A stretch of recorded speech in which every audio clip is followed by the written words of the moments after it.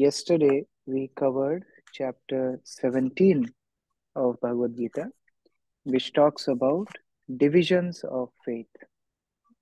We saw how Krishna tells about the faith in mode of goodness, faith in mode of passion, and faith in mode of ignorance. and accordingly, there was distinction between austerities in three modes, charities in three modes, worship in three modes, food habits in three modes. And then finally, Krishna gives the solution that in material world there will always be influence of these three modes. But if we have to overcome the influence of these three modes, then we should learn to connect everything to Krishna. And he tells three words Om Tat Sat, which also denotes Om is Sambandha, Tat means doing everything for the Supreme Lord, Abhideya, and Sat means our ultimate destination, the spiritual world. So, Krishna told that if we connect our activities, results of our activities, sacrifices, austerities, charities, with this Om Tat concept, then we will be liberated from the material world. Now, those who get liberated or those who desire for that liberation are called renunciates. Hmm. Renunciates. Those who desire for liberation from material world are called renunciates. Mumukshu. In Sanskrit, we say mumukshu. Mumukshu means those who desire liberation. So hmm. the next chapter, the 18th chapter starts with Arjuna's question. He asks Krishna, who is that renunciate? What is the real meaning of being renunciate? What is the meaning of being free from all contamination of results of action? Now, this question may be familiar to you because Arjun also asked that in the Karma Kanda section, in the Karma Yoga section of Bhagavad Gita, where Arjuna asks Krishna, who is real sannyasi? Who is real renunciate? Do we have to give up work or do work? Inaction or action? Then Krishna explains the concept of Karma Yoga. So we have to understand that this 18th chapter of Bhagavad Gita is now the conclusion of Bhagavad Gita. So many of the topics which you already studied will be revised in this chapter. So Krishna is coming to conclusion of the whole discussion. And therefore, the question of Arjuna, the first question may be sounding as a repeated question, but that is with a purpose of final revision. So let's start with 18.1. Arjuna Uvacha Sanyasasya Mahabaho Tattvam Veditum Tyagasya Charishikesha Prithakeshi Nishudana. So there are two things. One is sannyas. What is sannyas? And second is what is tyag? Tyaga means renunciation. So, what is renunciation and what is sannyas, the renounced order of life? That is the starting of this chapter. Keshava Priya Mataji, can you read the translation?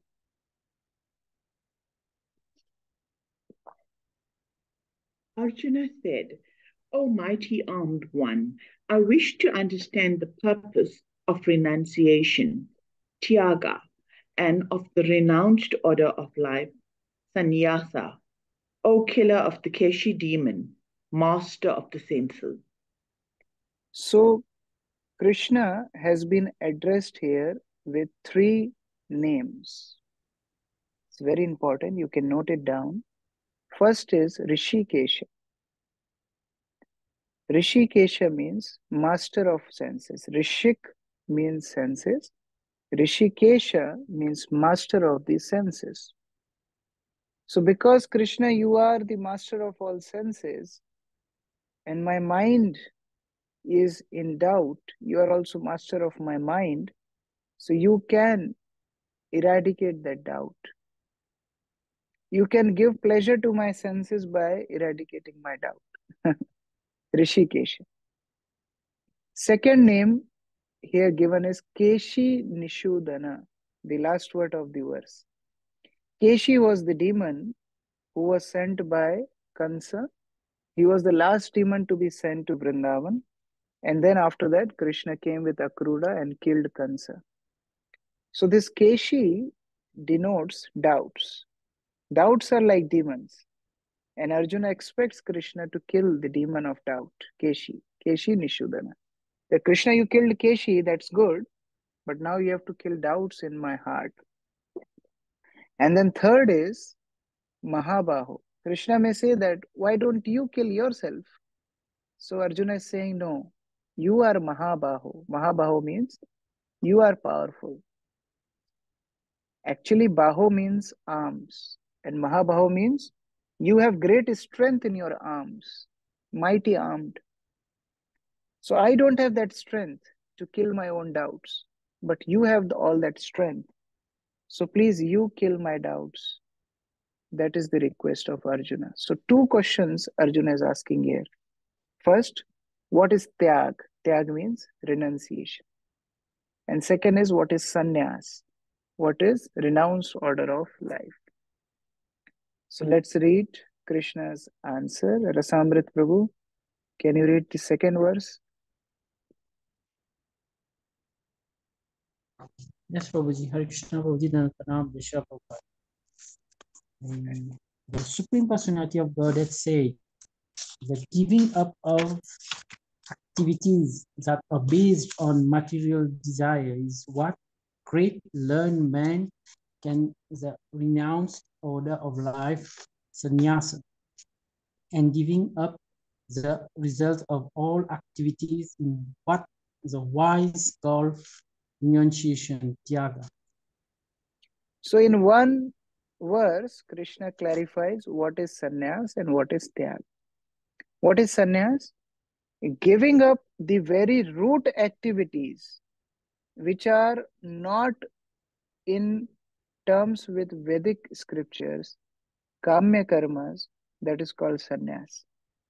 Like begetting children, having in family life, the giving up the very root of these activities for fulfilling one's personal desires. Like, suppose when I look at food, I get carried away. Hmm? Everyone gets carried away. So, giving up food altogether is sannyas. But what is tyag?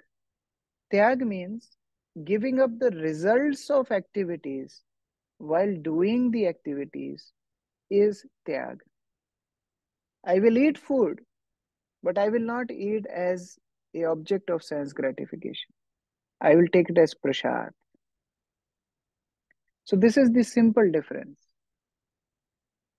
Sannyas means performing only necessary activities to keep body and soul together. That's it. But Tyaga means one will do all activities necessary for his ashram, but then he will not be attached to the uh, to the results of these activities. So Krishna further explains that in next verse. Sachidananda Prabhu, please read. Yes, Prabhuji. Some learned men declare that all kinds of fruitive activities should be given up as faulty. Yet other sages maintain that acts of sacrifice, charity, and penance should never be abandoned. Hmm. So now Krishna, having established the difference between sannyas and tyaga, he tells that what should be given up totally and what should not be given up totally. Hmm? So learned men give up fruitive activities like sense gratification. They give up totally. But some activities like doing sacrifices, giving charity, doing penances, although they are also external activities, but they should never be given up. Like suppose one doctor tells you that don't eat anything. That doesn't mean don't eat medicine also. You have to eat medicine, you don't have to eat anything rubbish. So here Krishna is saying that we can't give up certain activities which are for purification. But we can give up things which are the cause of bondage.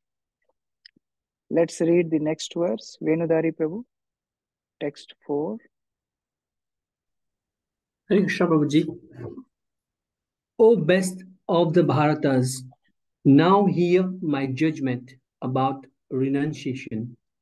O tiger among men, renunciation is declared in the scriptures to be, the, to be of three kinds. So now Krishna is going into the details of renunciation. Let's hear what Krishna wants to tell about renunciation. So Usha Mataji, next verse. Yes, Hare Krishna Prabhuji.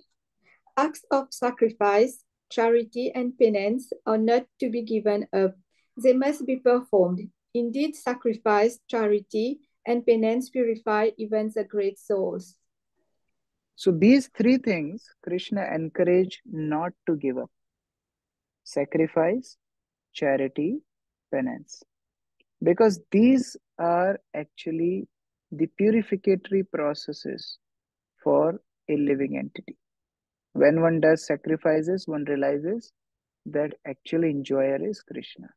By austerities, we purify our, our existence, our body, our mind. And by charity, we purify our occupation. So all are important to the purification of our living in this material world.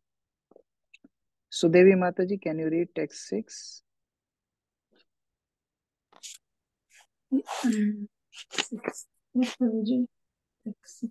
All these activities should be performed without attachment or any expectation of result. They should be performed as a matter of duty or son. That is my final opinion. But one condition Krishna gives if you do these activities with personal motives, then it will fall in the mode of passion. You remember last chapter? Activities done with personal agenda of sense gratification or getting name and fame, then it will fall in the category of mode of passion.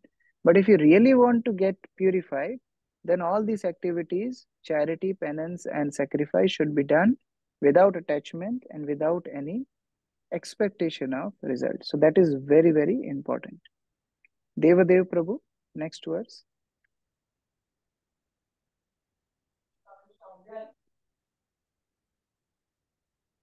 Please unmute.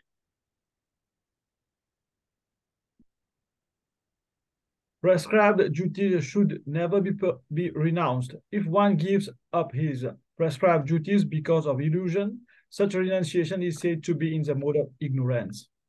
Very heavy statement, which Krishna already told before also. You remember Krishna told if somebody gives up his prescribed duties, then he incurs sin. He goes to hell. Krishna already told that in third chapter. So here Krishna is revising that same concept that prescribed duties you don't have to give up. If you give up them thinking that this is all unnecessary, then that is renunciation and mode of ignorance. Many times it happens, you know, when we feel challenges in our devotional life also, we feel that, oh, you know, I will not go to temple now. Let me just sit in my home and do bhakti. You know, why I have to engage in all this, you know, politics and this and that. What is that? We have to remind ourselves that is renunciation in mode of ignorance because we have to support in Prabhupada's mission. We have to do our prescribed duty as being initiated devotees in ISKCON. So we can't just give up those duties. Otherwise, that will be renunciation in the mode of ignorance. Vansi Vilasani Mataji, please read text 8.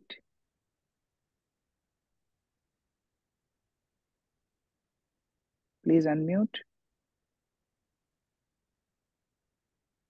Anyone who gives up prescribed duties as troublesome or out of fear of bodily discomfort is said to have renounced in the mode of passion. Such action never leads to the elevations of renunciation. See, some people don't want any trouble in life. You know, one is in the mode of ignorance, they just give up their prescribed duties. Second is they are very clever. They will only do some duties which will give them sense gratification. But other duties they don't want to do because that will be troublesome. I'll give you an example. There was one boy who came to meet me, you know, a couple of months back. And he was telling that, you know, I don't want to marry. So I said, okay, then you want to become a brahmachari? He said, no, I don't want to become brahmachari also. Then I asked him, what you want to become? You want to become a brahmastra? You know, see, one is brahmachari, one is grihastha. Something between is Brahma plus Astra, Brahmastra. You want to become Brahma Brahmastra? He said, no.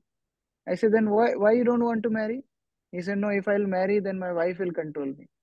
Okay, then why you don't want to become a brahmachari? If I will be in temple, then temple president will control me.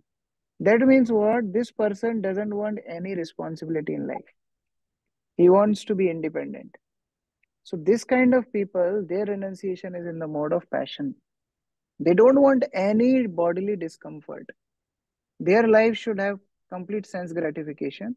So they their renunciation is guided by this kind of uh, mode of passion. Now, Kripalu Keshavi Mataji, please read text 9.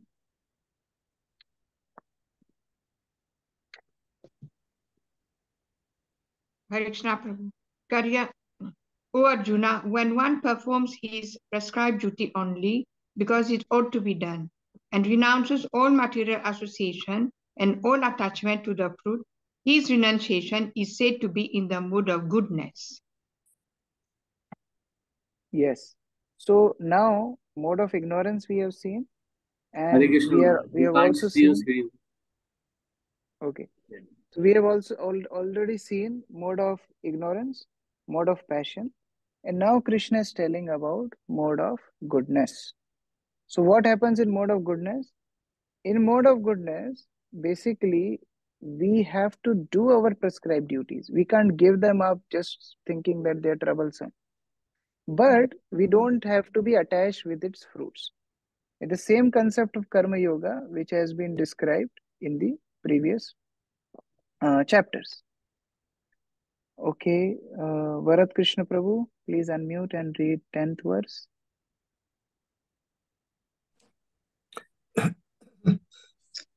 The intelligent renouncer situated in the mode of goodness neither hate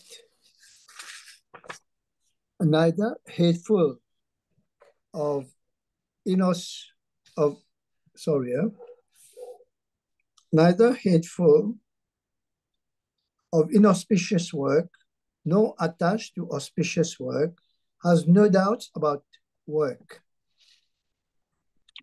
So one who is in the mode of goodness, one who is an intelligent renouncer, what he does, he neither hates anywhere, neither he is attached to anywhere.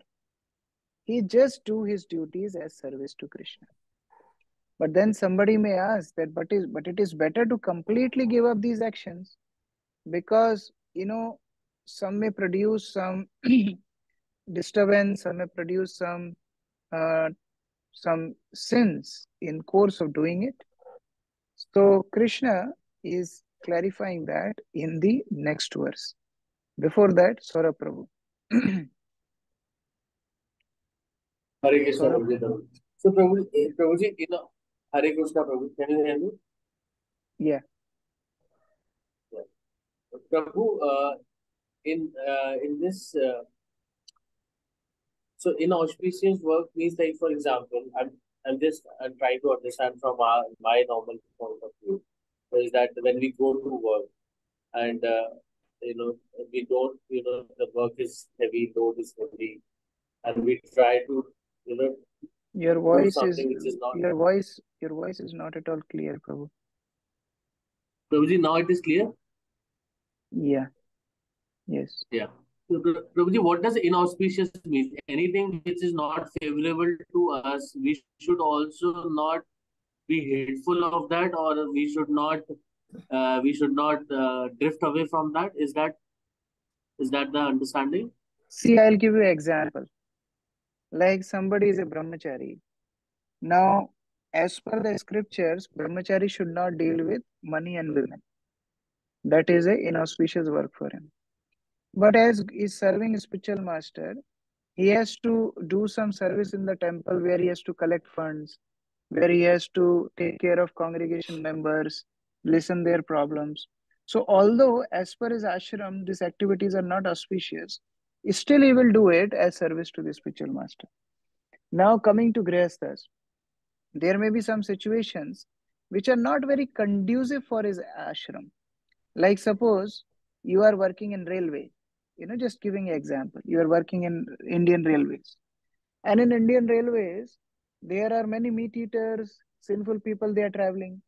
So in a way you are serving these non-devotees but still you do that because that is the situation you are in. And that duty is helping you to maintain your family and krishna consciousness until it doesn't grossly break the four regulative principles. That is black and white but when we are in situations which may not be completely auspicious, like like I went to North Carolina a couple of days back. Now, in the whole complex, they don't allow to keep tulsi plant. You know, now the devotees living there, they can't keep tulsi plant. It's an auspicious situation, but they can't leave that place because that is the place they have and they can't afford a house elsewhere. So what they have done, they've adjusted the situation. Okay, it's an inauspicious situation, but I can't run from it. I have to maintain my family. So they bring dried tulsi and they offer with that, you know, bhoga. So this can be some situations which may be inauspicious in terms to spiritual life. And still people have to do it, keeping in mind that, okay, externally, it may not be that auspicious. Best example is Arjun himself killing his own guru, killing his own relatives. It's an inauspicious work.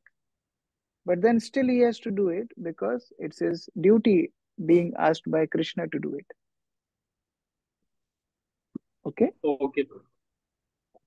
Yeah.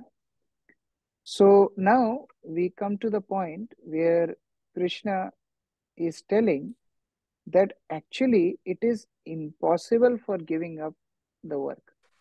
You remember this also Krishna told in third chapter, in fifth chapter also. Krishna says, you can't live without work. So same thing he is revising here. Nishtha Mataji, can you read 11th verse?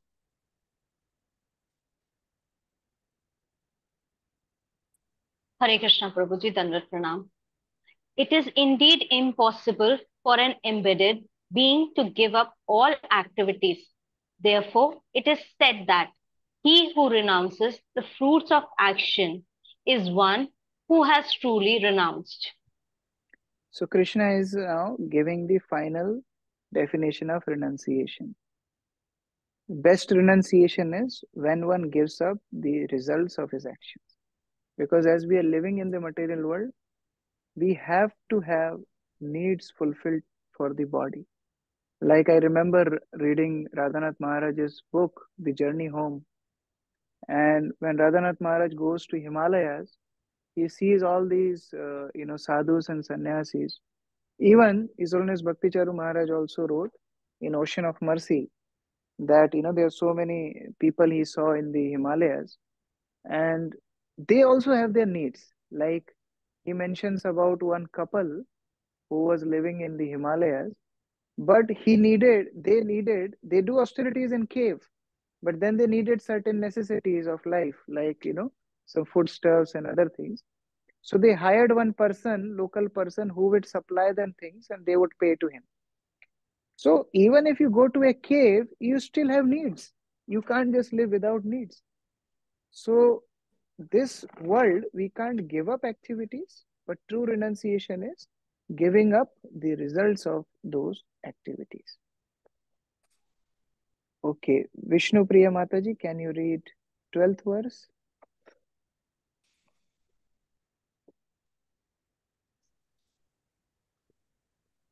Who one, who one who is not renounced the threefold fruits of action, desirable, undesirable, and mixed, accrued after death, but those who are in the renounced order of life have no such result to suffer or enjoyed.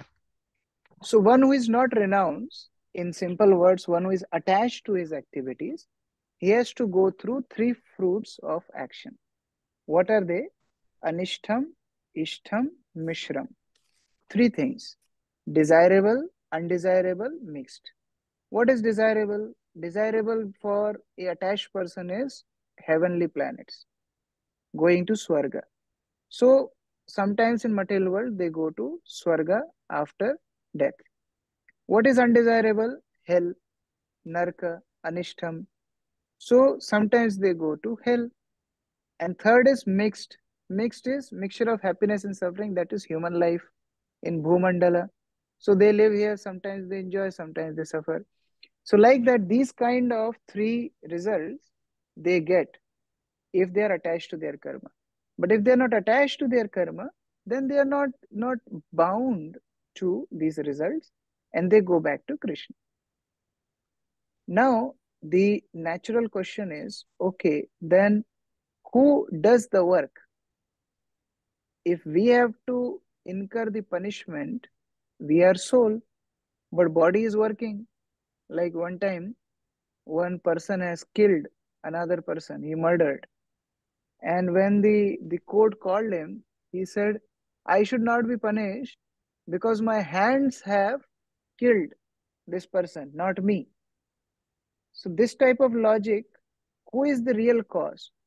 Hands are the cause, the person is the cause, the demigod of hands, Indra, is the cause of murder. Who is the cause of murder?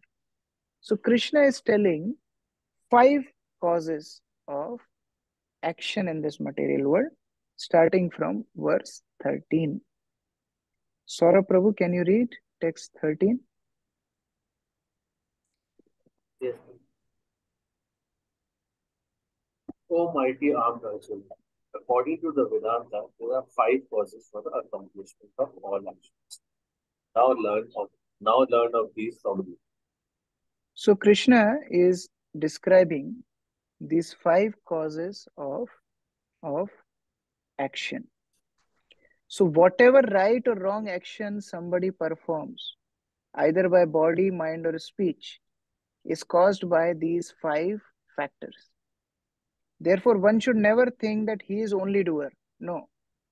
He is maybe desiring, but actually there are five more factors which are necessary for one living entity to act in this material world. So these five hmm? are in projected on your screen. What are these five? The place of action, the body, the performer, the various senses, many different kinds of endeavor, and ultimately super soul. These five factors constitute any action. Now let us understand them one by one. First is the body. If you remember 13th chapter, this body was described there as the field of activity. So until unless you don't have a field, a place to perform something, you can't act. So body becomes the first factor for action. Second, now you do need a doer, soul. Soul performs activity. Now, how you perform any activity, you need instruments, that is senses. Like suppose you want to you want to draw a rangoli. So for you know you understand rangoli? Yes. So if you want to draw a rangoli, then you need a place for drawing the rangoli. You need colors, and then somebody has to draw it. So these instruments, those colors become the senses. We need senses to perform our activities. And then cheshta, the endeavor. You have colors, you have place, you have person, but he's just sitting there, he's not drawing. then it will not happen. So the person has to endeavor, he has to actually put his energy to have something accomplished. And then last but supermost is sanction of the super soul. So these five, if one of them will be missing, there will be no action. The body will not be there, there will not be action. Now you will ask that if there is no body, how there are senses? No. Body is gross body and subtle body. But senses can also be on the level of mind. Like suppose, even one who is blind, can't he see? He has his own eyes of mind. He visualize things. He can't see with physical eyes, but still he visualize things. Like when we are sitting alone, nobody is speaking to us, but still we can't hear our own voice.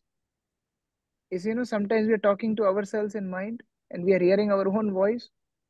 That is like hearing from mind, senses of the mind.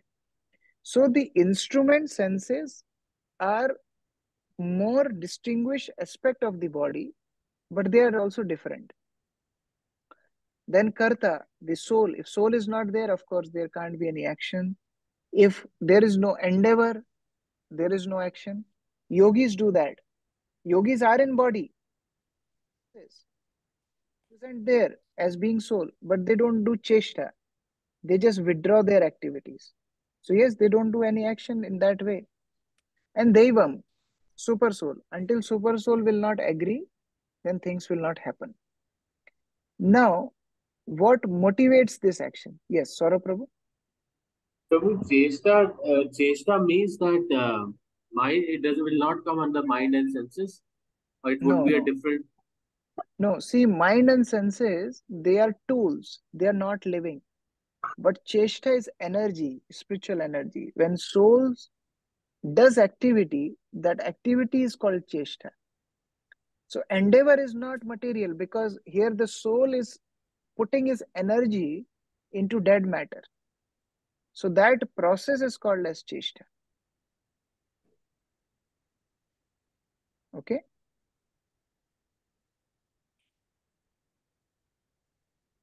So now somebody may ask that how it all began, how this action is governed. Like suppose if you are sitting now here in class and somebody brings your favorite food item, then the cheshta begins. How how it starts, how the action, how the how it stimulates. That is the second part of this chapter. Let us understand this. How the action is stimulated. Can you read text 18, Pratima Mataji? Can you read that? What motivates mhm. the action? Krishna Babuji.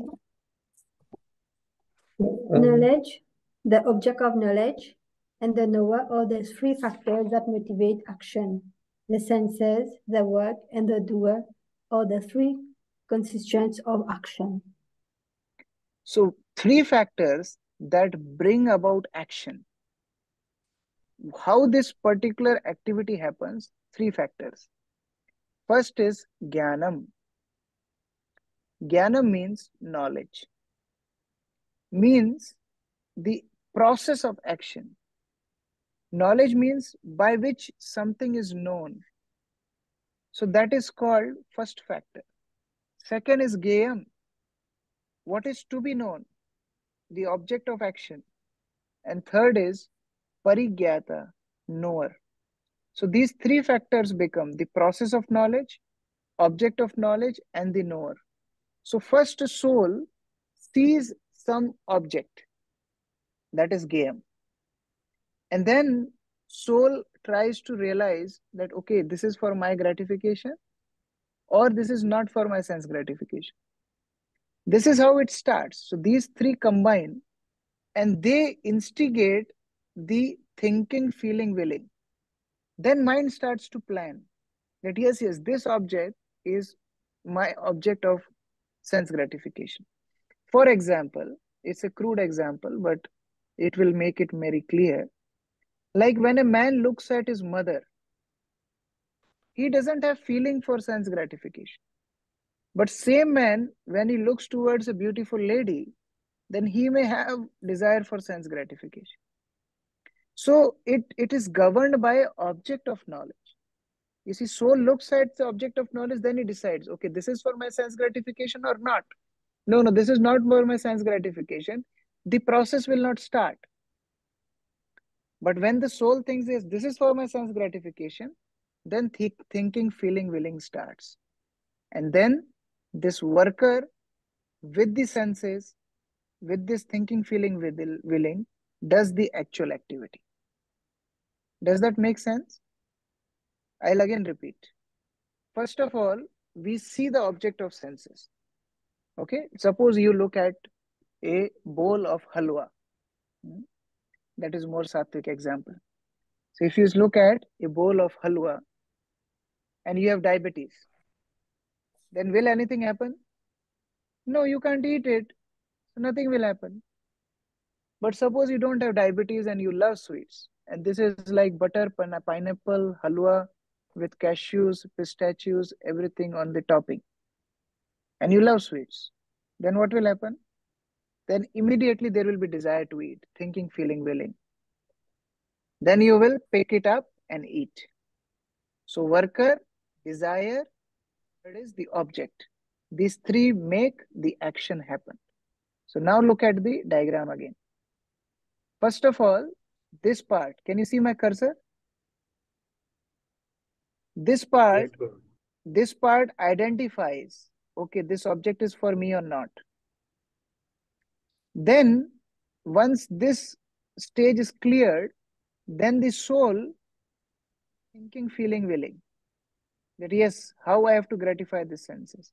And then with the object of senses, it does the actual activity. So this is the process which Krishna is describing on the 18th verse. But then what about the free will of the jiva? Jiva is dependent on the sanction of the Lord because the we have you remember the fifth term is super soul. But super soul never interferes in the free will of the living entity. He will never interfere. Because Jiva can choose, he has to act or not. If he can choose that no, this is halwa, I am having diabetes, I don't have to eat, then he doesn't need to eat. It's all dependent on Jiva's desire. So super soul will only sanction at the last step. But how it starts it? With Jiva. So Jiva is not forced to do any activity in material world. But super soul gives permission for the action. Any questions so far?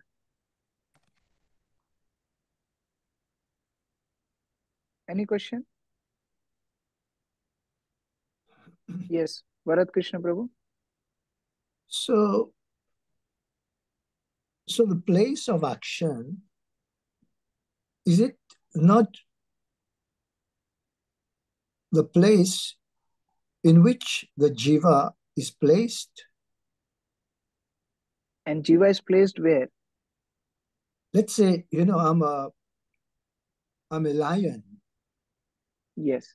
You know, I'm placed in the body of a lion, Oh, or yes. I am placed in the body of a human being. Right.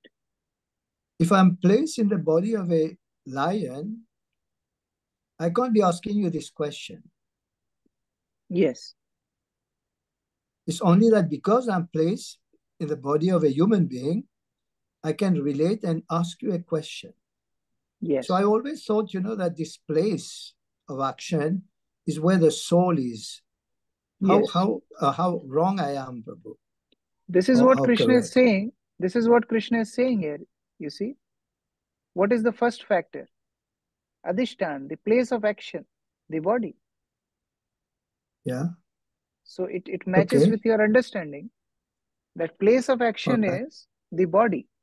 But now what we have discussed last is how one acts in body. Now within body, the discussion is going on. The lion is in the body. Okay. But then lion yeah. sees grass, sees rabbit. Run. Not run after grass. Lion will run after the rabbit. So that is the secondary step within body. That is the discussion. Okay. All right. Okay. Thank you. Yeah. Saurabh Prabhu. Hare Krishna. Prabhu, I have one question in this that uh, so the uh, the knowledge many times what we see that suppose a person is uh, suppose I'm just saying that the person is uh, is eating non non vegetarian non vegetarian and they are they are you know um, there have been his family is eating from the birth he doesn't have any knowledge whether vegetarian is good or you know vegetables are good or non vegetarian then the knowledge to distinguish uh, between what is right and wrong will not come to that person uh, so easily or you know uh, for the for so many years he would be eating uh, flesh so then in that case uh, you know how can a person uh, how can a person get get the right knowledge and act around it and Srila, so one is this Bhakti Siddhanta Saraswati used to say, nobody is innocent in the material world. Nobody is innocent here. Why he used to say that? Because you see, somebody getting birth in a particular family, it is because of his previous choices. And every jiva has this opportunity to accept the knowledge because he is getting knowledge through devotees, through scriptures. Now we may ask that, oh, some people don't have that opportunity because in previous life they misused that opportunity. And now they are just reaping the results of this previous lives. So first they have to finish this course of their present life. And then maybe in future lives they will again get that opportunity again. Like suppose you imagine a well. Imagine a well, a dry well. And in that dry well, there is an exit at the bottom of dry well. Okay, only one exit. Now, if you put a blind man inside that well, okay, how he will search for the exit? How he will search?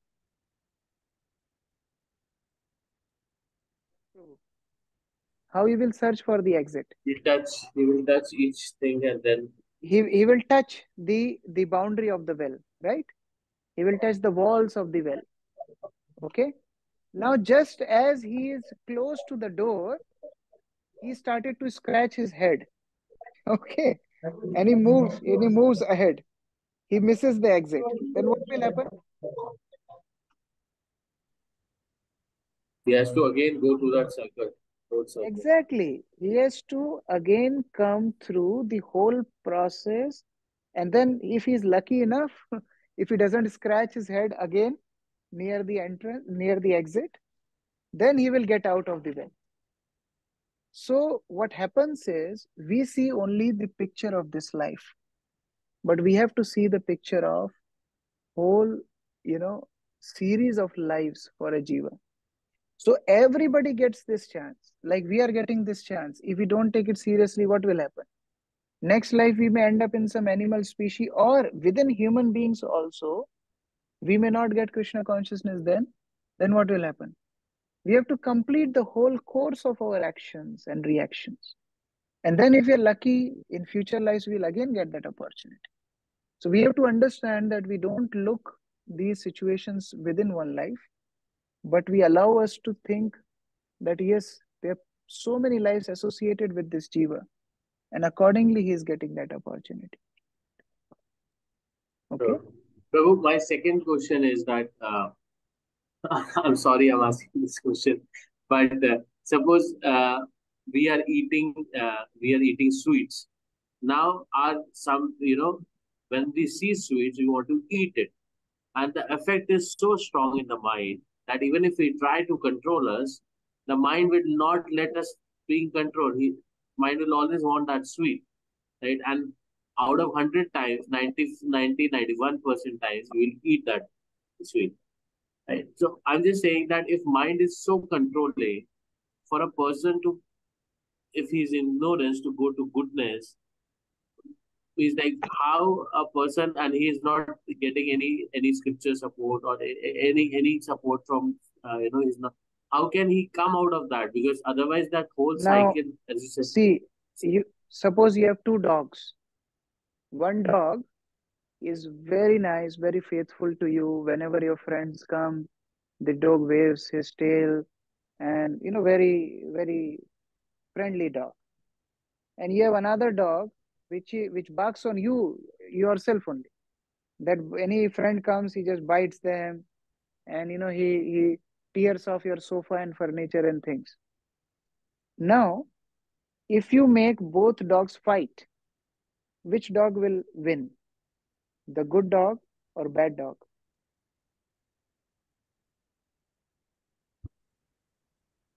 bad dog. Why? Why? because it has a already has a aggressive aggressive uh, attitude. no. The answer is that dog will win whom you fed more. If you fed more, the good dog, he'll become more powerful and he will defeat the bad dog. And if you have fed more bad dog, then bad dog will win.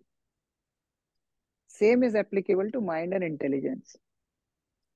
We are listening to mind again and again. That is making mind more and more stronger, intelligence weaker. But in a normal situation, what should happen? Intelligence should be more stronger than mind so that mind, when goes to this wrong direction, intelligence can control. Now, how to do that? To strengthen intelligence, we take support of spiritual practices, especially study of the scriptures. Now, if somebody say, no, no, I don't want to take help of study of the scriptures, then let's go back to the 16th chapter of Bhagavad Gita, where Krishna says, then he cannot get out of the asuric tendencies. He will be in demonic nature always. Demonic means exploitative nature always. So he has to take help of scriptures and association of devotees to strengthen the intelligence. And then further, mind can be tamed. Okay? Okay, bro. Bharat Krishna Prabhu? Yes, Prabhu. Uh, it, uh, you know, I mean, somewhere I read, you know, like when uh, we have this desire to eat an animal, for example, I mean, Mm. you know, this is by habit or, you know, that we, we just say, okay, we want to eat. But then what actually we are doing, we are gratifying our senses, yes, but at the same time, that we are delaying the action, that we are delaying the lifetime of that animal. If it was a normal lifetime, that animal would go to his to its next birth and carry on its process. Exactly. So therefore, we are responsible in that delaying of that uh, poor animal to come to a human form of life, and then thereby be responsible for our act, which is sinful. Therefore, in if you see the grains, I mean, just going into technical technical aspect of it, when we harvest the grain, when the plant dies, we don't harvest it when the plant is green. The plant dies, we harvest the grain. In the same way, when we take fruits, we don't cut the tree. We just take the fruits which are ripened. And sometimes the plant itself leaves the fruits when they are ripened. So the purpose is not to obstruct anyone's evolution. The natural evolution is that they are going through the species of life. And Prabhupada also says that real violence means obstructing anyone's advancement in spiritual life. So if they will evolve, these animals will evolve, they will come to human life, they will get chance to again re- re-spiritualize their life. So that aspect also is associated with killing animals. It's not just about the pain they undergo, but more than that, the spiritual obstruction that we are creating in their life. That is also very sinful. So yeah, that is the main thing that how we have to be very, very cautious that if we are doing any action, it starts with our desire. We can't blame anything anybody for that. Now, this action the performer of action, and the knowledge associated with it, this is also in three modes, and Krishna is going to describe that. Diya Mataji, can you read text 19? Hare Krishna Prabhu. According to the three modes of material nature, there are three kinds of knowledge, action, and performer of action. Now hear of them from me. So in the next few verses, we will be studying that, that how these action, knowledge associated with that, and the soul, the worker, all of them, how they are governed by the three modes of material nature. So we have made a simple table, which is easy to understand. So Krishna is describing knowledge in three modes, action in three modes, worker in three modes, and understanding in three modes. Then determination in three modes, happiness associated with that in three modes. So let us study them one by one. Knowledge in mode of goodness is, is basically when a person sees living entity to be part and parcel of the Supreme Lord. Whether a demigod, human being, animal, bird, beast, aquatic plant, it doesn't matter. Different bodies are the different uh, results of their karma, but actually they are all living entities. So when we see others in that light, that knowledge is in the mode of goodness. Now, when we look at only bodies of other living entities, that is in mode of passion. Yes, this person has a nice body, this person has bad body. That is in mode of passion. So he is not very attached to the soul concept, but to the bodily concept. And then third is knowledge in the mode of ignorance. It's little ironic because knowledge is opposite to ignorance but knowledge in mode of ignorance means actually absence of knowledge so he is so attached to his own self that he doesn't uh, doesn't refer to any scripture or any other understanding which is higher in life and extremely attached to his own material activity like eating bathing drinking enjoying you know sleeping so he has no even ambition in life. That knowledge is very like a knowledge of an animal. So, like animalistic knowledge, that is in mode of ignorance. Yes, Bharat Krishna Prabhu. Yeah. Uh, Prabhu, I mean, the in goodness, knowledge, God, goodness, number two, although situated, falls in many forms. What does this mean? See, there are many forms situated, like there are many species. There can be animals, there can be reptiles, there can be all these different species. And a person realizes that this particular form is not the ultimate form of the soul. So, this knowledge of soul helps him to understand that this situation is not real, the situation is false. So soul is situated in these forms, but the situation is not the real form of the soul. That is the meaning. So he sees different, like so we studied yeah. that, no? Sorry. That that Sorry. a learned man so sees it, all equally. Yeah. Yeah. Go ahead. So false, I mean, here the word instead of false, if we would have put uh, uh, temporary, would that yes. would that be yeah, correct? Yeah. yeah, yeah, it's it's more correct. Yeah, temporary. Yeah. Okay. All right. Okay. Then we comes to we come to okay. Vishnu Priya Mataji, raised hand. Vishnu Prabhu, um, actually, I had a question for the mode of passion. You mentioned seeing different being in each body, and you did mention that one should perceive the other person. Uh, let's take it for devotees. Uh, like soul. But somehow uh, the way that we live nowadays people see like you should be um, dressed a certain way look certain way and there's some expectation for, from society. And sometimes we see it in mandira as well. So how can we can we just step out of this that if someone wants to dress up that his choice or her choice and how can we convince someone that we should not like see them like from the bodily or the way he's he or she is dressed, but from the soul perspective.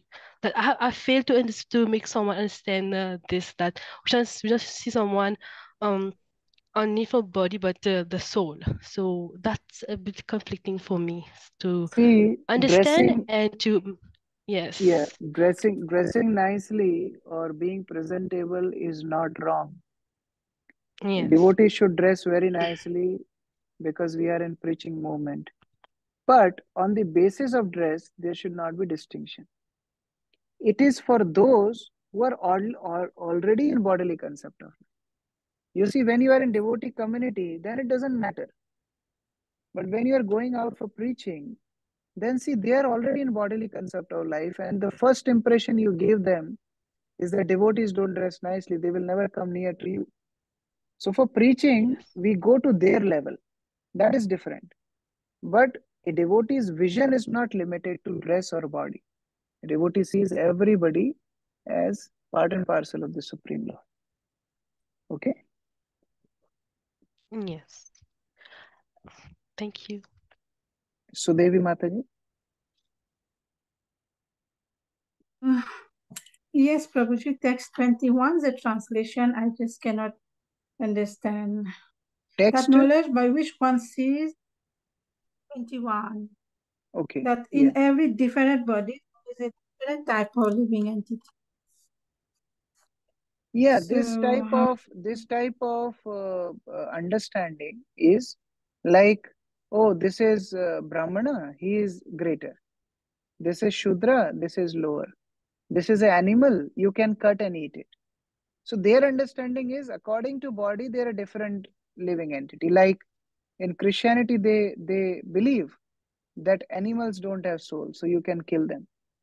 So like that, they have different con- concepts that okay, different bodies means different living entities.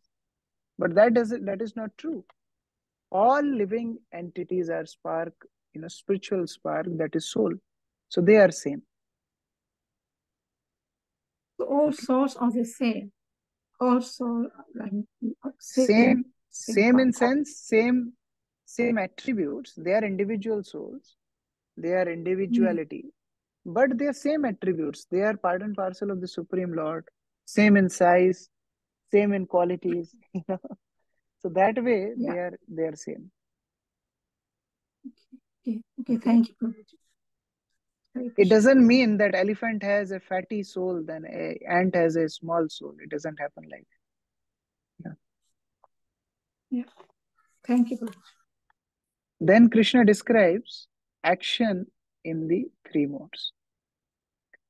So when the action is regulated according to Varnashram, according to the occupational duties, it is in mode of goodness. When it is performed without attachment, when it is done without being attached or being, without being averse to certain situation, and also when one performs them without desiring for results, that action is in mode of goodness, which Krishna already described when he was describing the uh, the uh, real renunciation. So renunciation in mode of goodness is as good as action in mode of goodness. Then action in mode of passion, it is associated with great endeavor and driven by how much sense gratification I can squeeze out of this particular activity. And of course, it is driven by false ego that I am the owner of this body and I have to enjoy the senses, I am the enjoyer. That type of understanding is in mode of passion. Then action in mode of ignorance, performed in complete ignorance, He doesn't, ignorance means what? Illusion means what? He is oblivious to the fact that I am accountable to somebody.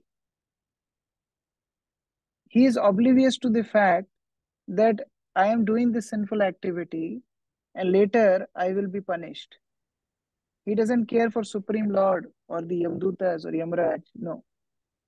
He disregards scriptural injunctions. He has no concept of thinking about future. Therefore, the activities in mode of ignorance are generally almost on the level of animals. Yes, Bharat Krishna Prabhu. Yeah, I think in that column of knowledge, I mean, from the question which uh, Mataji Sudevi asked, Yeah. don't you think that maybe, hello? I'm yes, okay? yes. I can hear. Yeah. Yeah. Uh, in the in that column of goodness, knowledge, you know, I mean, from the question of Mataji Sudevi, don't you think that uh, maybe I'm thinking, you know, that maybe there should be a third point in that column, which says that we have also a constitu- in in knowledge we have a constitutional uh, position to be subservient to the Lord. Yes. Because when you yes. look at the column of ignorance, no knowledge of the truth. Yes. So I believe the third point may, may make clear this, uh, you know. Yeah, yeah, yeah, yeah. See, there is little difference. See, person in mode of goodness may not come to the level of service of Krishna, Okay. but person in mode of ignorance certainly doesn't realize even truth means truth means realizing body and soul. Absolute truth means realizing Krishna. So So person be has pure to goodness. pure goodness. It has to go beyond goodness to come to the level of Vasudevam Sarvamiti. Yesterday we were discussing that. Vasudev Sthiti means pure goodness. That is very, very rare. But when we are talking Okay. about just goodness, goodness means realizing I am not body, I am soul. And it starts from there. Then further he inquires, okay, I am soul. What is the activity of soul? Jiver Swarupa Krishna Nityadas. I have to be servant of Krishna. That is the next step. But when we're talking about these three steps, then it's limited to this understanding. Okay, so it's all right. Thank you. I'm sorry. Then the worker in the three modes. Worker means the soul in the conditioned state. So when one is in the mode of goodness, he is very much free in the material world. Not completely free, but he is very much free. When the this is written without ego, it means purified ego. Nobody can be without ego. Ego means identity. But when it says without ego means purified ego. Then like you know, when we are sick, somebody may say, Oh, he doesn't have temperature now. That doesn't mean that he doesn't have any temperature. He has normal temperature. So in the same way, as well, no false ego. And his activities will be with great enthusiasm, determination, and unwavering success or failure. He is unwavering. He is not affected by success or failure in this material world, which is in Sanskrit called nirvikaraha. Is devoid of happiness and distress when he attains or does not attain specific results. Like Srila Prabhupada also tells in purport, he doesn't care for success or failure. He is equal in happiness and distress because he is not attached. Now, coming to person in mode of passion, he is very, very attached to the results. If he doesn't get result, he will not do that activity to begin with. Because any activity which he is doing is with desire to enjoy the results. So he's very greedy. When others progress more than him, he is very envious and he's very impure in terms of his desires. So he's very attached to the fruits. Person in mode of ignorance is harmful for himself, harmful for others. He doesn't accept Shastra. He is very adamant. He adopts cheating ways to harm others, insult others, lazy, procrastinating, morose. All these are attributes of worker in the mode of ignorance. Yes. Vishnu Priya Mataji. Uh, Prabhu, actually, I have the question for the first one of goodness. Um, uh, you mentioned that we should not be affected by any success or failure and should not feel any kind of like the feeling that we have. But sometimes uh, when we do services and we kind of have some um I don't know the anxiety, some like we're not doing it well, not well, which gonna we don't enjoy the service in the in the process thing that if we're doing it well or not. Is it is it normal to do it when doing services? Like you are distressed or you're like something have not happened the way you wanted it to happen. So is it a normal feeling for a devotee or it's a bad one? Like we are just shifting from the mode of goodness and we're going to another uh, place. See, in Krishna consciousness, That's, we yes. focus more on the endeavor part than results. Yes. Because if you if you talk about results, then Prabhupada was a failure for 40 years in his life. but if you talk about endeavor, he becomes an acharya. He was constant, constantly endeavoring to serve his spiritual master. So devotee should be more conscious of endeavor part. He is not affected by the results.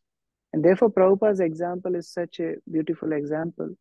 For 40 years in his life, he was just constantly endeavoring without, you know, being attached to his results. Because his spiritual master wanted him to preach, he was preaching. And ultimately, finally, Krishna gave him the ultimate success. So even if, just let's consider, even Prabhupada would have came to America and nothing would have happened, still he would be an Acharya. It's not that Prabhupada had established ISKCON, then for only he is Acharya. No. Even if ISKCON would have not been there, still he would be Acharya because full life he tried to serve as a spiritual master. So that endeavor part is more important in Krishna consciousness. Okay? Saurabh Thank Prabhu. you so much, Prabhu. Hare Krishna. So my my question was answered. Is okay? Yeah, yeah. Yes. Okay. Now we come to the understanding part that how we summarize this full understanding of the action. So actions understanding in three modes. Person in mode of goodness, what is the level of his understanding? Person in mode of passion, what is his level of understanding? So person in mode of goodness, his understanding is very clear. He knows what to be done, what not to be done because he follows scriptures. He has a healthy fear what activities may be detrimental for his spiritual growth. He is fearful of things which may bind him to material clutches. So that is a sensible person, you know, who follows scriptures and he knows what to do, know what not to be done. Person in mode of passion can't really tell what to do, what not to do, because he's more governed, he's more driven by his desires. So if his desires will make him run for some activity which is irreligious, he will still do it. He is not sure basically. So sometimes he may be religious, sometimes he may be irreligious, depending on his desires. Now talking about person in mode of ignorance, he is, for him, religious is irreligion, irreligion is religion. He is in such darkness. He thinks that, you know, almost as we discussed before, almost like an animal. Somehow or other, if he can lead his life on the expense of others, that is his success. So he is always into wrong direction, oblivious of the scriptures. Like it is told about Jagai and Madhai in Chaitanya Charitamrita, that they would search in scriptures what should not be done, and they would do that. That is person in mode of ignorance. They would exactly do opposite. Let's see about their determination, how their determination is. Person in mode of goodness, their determination is unbreakable, their steady determination. because they have full control over their mind and senses. Now, person in mode of passion, they are determined, but more for their own results. If they don't get that results, their determination changes.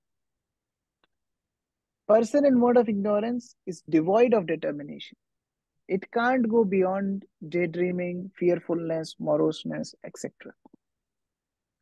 And talking about the results, happiness, very important point. Person who is practicing action in mode of goodness, for him, things may be poison in the beginning, but nectar at the end. What does that mean? That there may be difficulties in course of his practice, but when he becomes successful in his control of mind and senses, he he feels immense happiness and his result is self-realization. Whereas person in mode of passion is just opposite. He is nectar in the beginning poison at the end. So initially when he entangles in the sense gratification he feels very happy. But then the result is suffering. And for person in mode of ignorance poison in the beginning poison in the end. He's so blind to self-realization that his life is mm-hmm. governed by disillusion from beginning to end. So that is the level of happiness they undergo. Now, let us understand the, the summary of this whole discussion, starting from verse 40. So I will request, who will read, okay. Shrutidhar Prabhu, can you read text 40? Yes, Prabhuji. Yes, Prabhuji, Hare Krishna. There is no being existing either here or among the demigods in the higher planetary systems, which is freed from these three modes born of material nature. So Krishna is saying, don't think that you are not into that category. Every person has to think that which mode is governing his life and should slowly, slowly improve from that situation. Braj Sevaki Mataji, please read next one. Yes, Hare Krishna Prabhu. Brahmanas, Kshatriyas, Vaishyas, and Shudras are distinguished by the qualities born of their own natures in accordance with the material moods or chastiser of the enemy. So this whole Varnashram system is also based on these three modes of material nature. We have discussed this before. Brahmanas, they are in mode of goodness. Kshatriyas, they are in mode of passion. Vaishyas, they are in mixture of mode of passion and ignorance. And Shudras in mode of ignorance. Now Krishna is giving the qualities of Brahmana, Kshatriyas, Vaishya and Shudra. Shrashti Mataji, can you read text 42?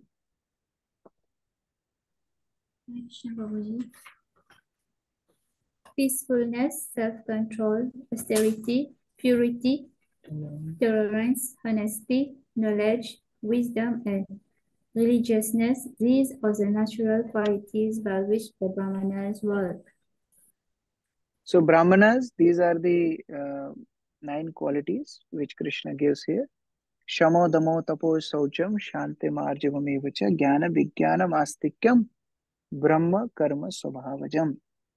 Some means peacefulness दम self control तप austerity सोचम purity शांति tolerance आर्जवम honesty ज्ञानम knowledge विज्ञानम practical knowledge astikyam religiosity so a Brahmin has to have this qualities that makes him Brahmin here no where Krishna has written that one who is son of Brahmana should be Brahmana. No.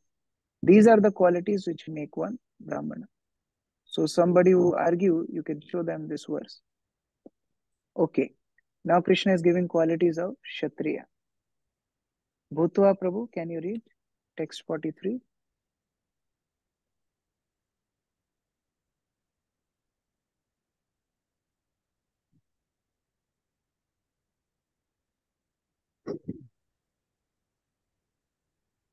One minute. Uh, 43.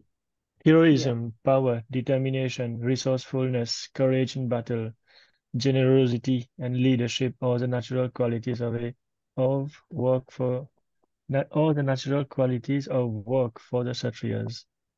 So Kshatriyas, they have to have these qualities, and you can see many of them are seen in the Kshatriyas in the past, like Parikshit Maharaj, Yudhishthir Maharaj. The heroic, powerful, determined, you know, all these qualities are very much necessary. Then in one verse, Krishna talks about Vaishyas and Shudras. So, Amar Nitai Prabhu, please read.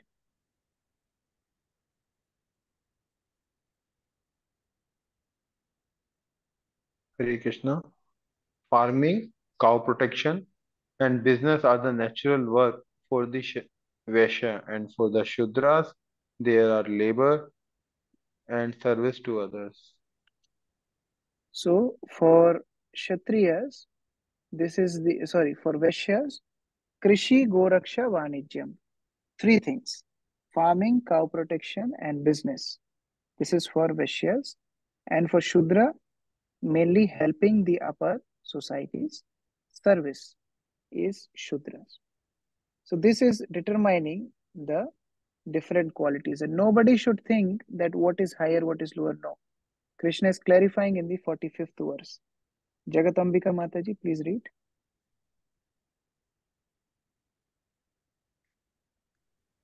By following his qualities, by following his qualities of work, every man can become perfect. Now please hear from me how this can be done. So it's not that somebody who is a Shudra cannot become perfect in life. No. Everybody can become perfect in life in any ashram, anything. What what what is the what is the process? Any guess what Krishna is going to tell now? How anybody, any ashram, any mode of modes, he can become perfect. Any guess what Krishna will tell? Prabhuji, by performing devotional service to the Supreme Lord. Devotional service. What else will be there? you know? So that is the next verse. Krishna is saying that. So Venudhari Prabhu read. By worship of the Lord, who is the source of all beings and who is all pervading, a man can attain perfection through performing his own work. So just by worshipping the Supreme Lord, becoming his devotee, even while doing one's own work, whatever mode one is, don't worry, keep on doing our work one can become perfect. Jiver Sarup Hoy, Krishna Nityadas. That's what we have to focus. And Krishna is saying, therefore, don't try to compare your work with others. That will not work. Krishna is saying in the verse 47. Okay, who didn't read? Let me see. Anupama Mataji, would you like to read? 47. Hare Krishna. It is better to engage in one's own occupation, even though one may perform it imperfectly, than to accept another's occupation and perform it perfectly. Duties prescribed according to one's nature are never affected by sinful reactions. So therefore Krishna is saying stop comparing with others' activities. Even if your activity you are doing with some mistakes, don't worry. It's far better than doing others' activity, you know, perfectly. So as per your sabhav, as per your modes, keep on doing your duties, but keeping Krishna and center. Okay. Verse 48, Diya Mataji, can you read?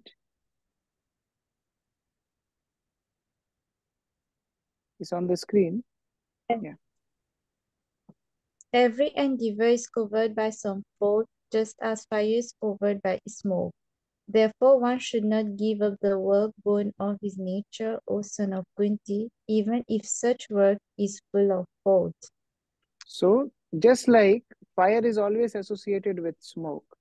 So, don't worry, every activity will have some fault, but don't give it up as if Krishna is encouraging Arjun that, okay, your activity, you may think that there are some faults, you know, killing your own guru and things, but don't worry about it because every activity has some or other fault, but you have to see your situation and work accordingly.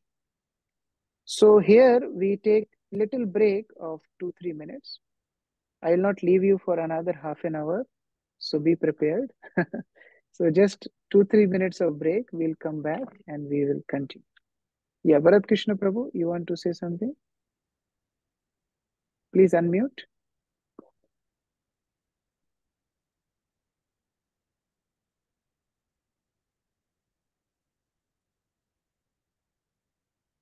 Hare Krishna.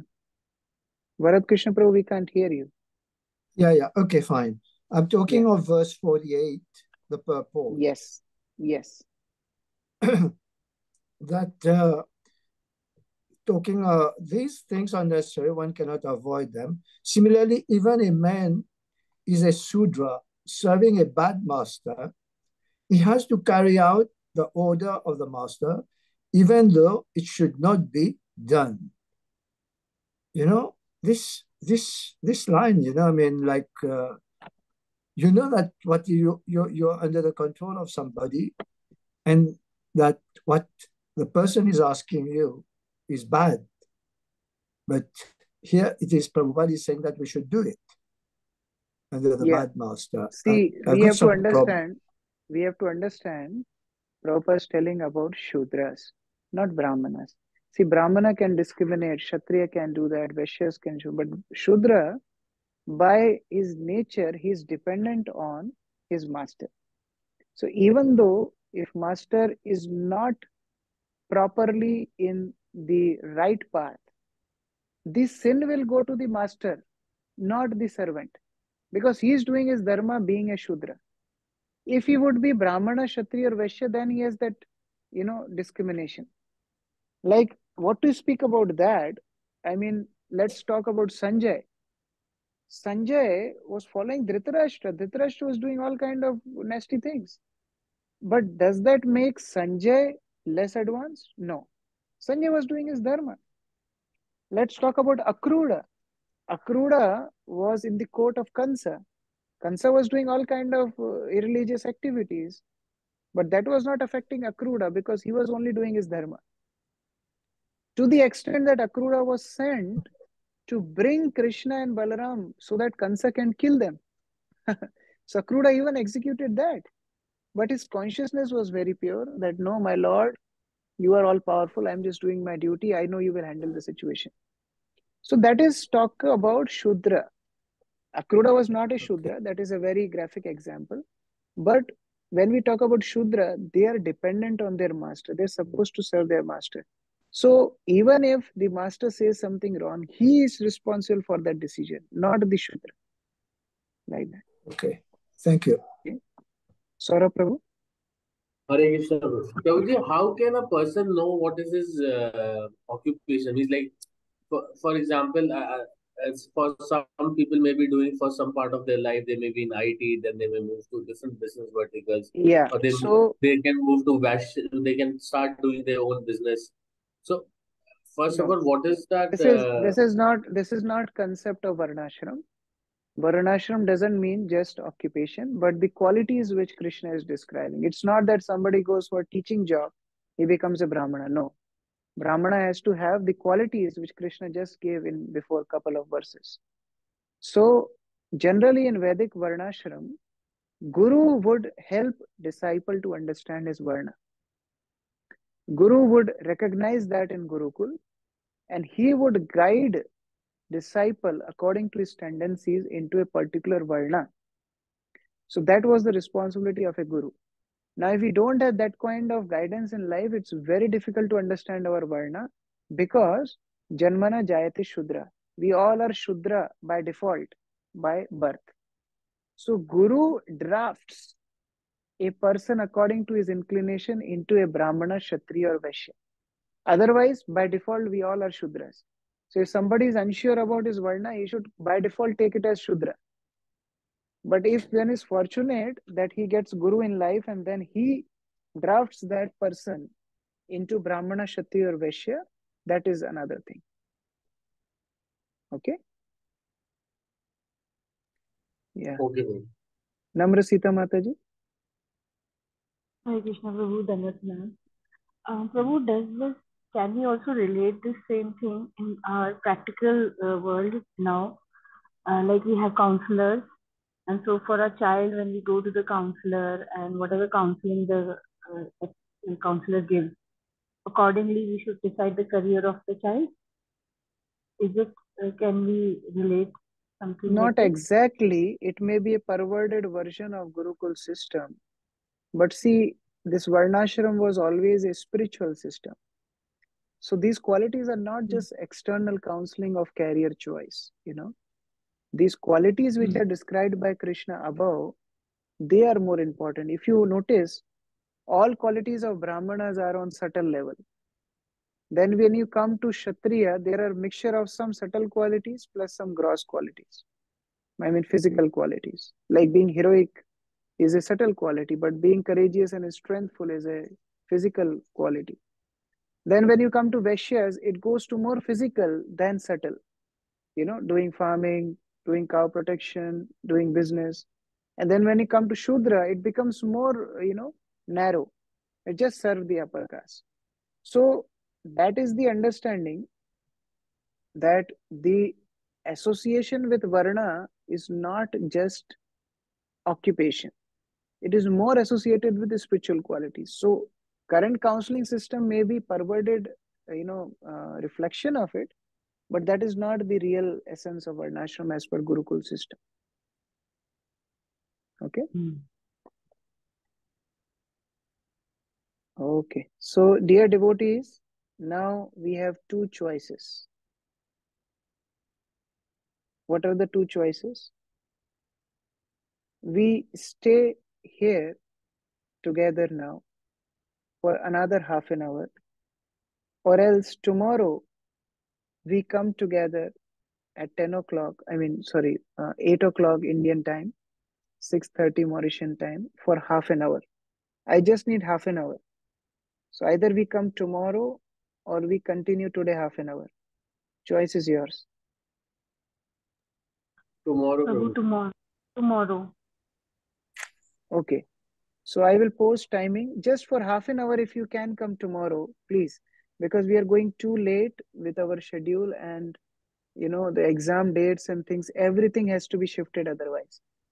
So please, if you can come half an hour tomorrow, then we can be on the track again. So we end here. Please come back tomorrow and I will post the time. Just I need half an hour to 40 minutes and we will we'll be good. Okay. Hare Krishna. The timing, the timing for tomorrow. Timing I will post. I'll post on the group. Yeah. Mostly it will be same time. It will be same time. Yeah. Just That I need half good. yeah, half an hour to 40 minutes. Just that much slot I need. Yeah. Okay, thank you. Okay. Hare Krishna. Shri Prabhupada ki jai. Samaveta Jai. Bhakta Vrinda ki jai.